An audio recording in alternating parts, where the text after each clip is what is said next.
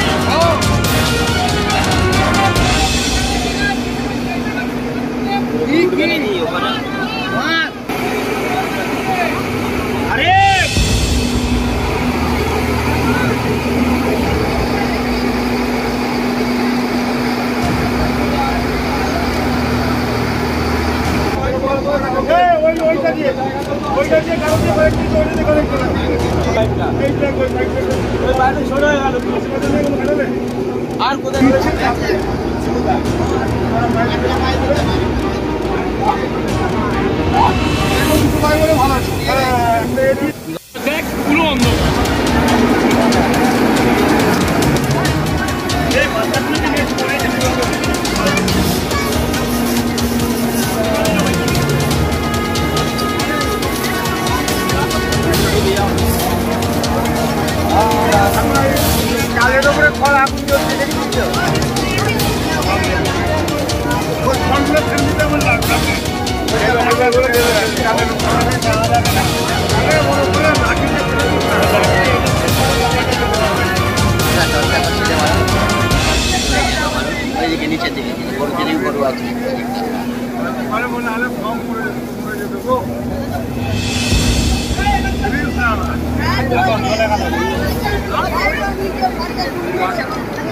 থাকে ওটা দিয়ে তুলে দিতে হবে আমাদের